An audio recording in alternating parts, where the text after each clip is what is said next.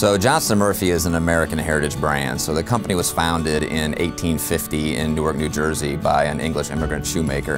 And really we're best known for premium men's footwear. Um, that and the fact that we've made shoes for every U.S. president since Millard Fillmore. So it's a very unique tradition and one we're really proud of. The need for traffic analytics really came from me visiting some stores during our peak periods. We were offering tremendous service to the customers that we could get to. And the reality was we just couldn't get to all of them. And so what it seemed like to me was that we had a service opportunity that was really related to a scheduling opportunity.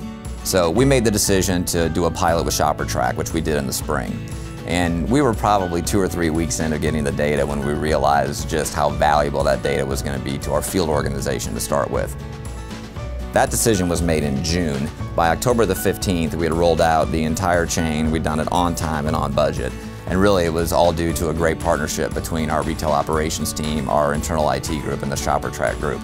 Um, on time and on budget is not something I get to say that often, and it was a pleasure. And really thanks to great adoption by our regional team and by all of our store managers who really believed in the data and saw the upside in it, we were able to achieve our goals very quickly. So right off the bat, we saw a 10% increase in our conversion, that double-digit gain has continued to sustain.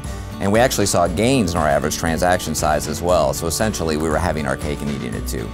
And we couldn't have done it without the support of ShopperTrak. From the get-go in the implementation, they were there for countless conference calls. They were in our office doing quarterly reviews. They even participated in our store managers meetings. So it was really evident from the get-go that they were hugely invested in our success.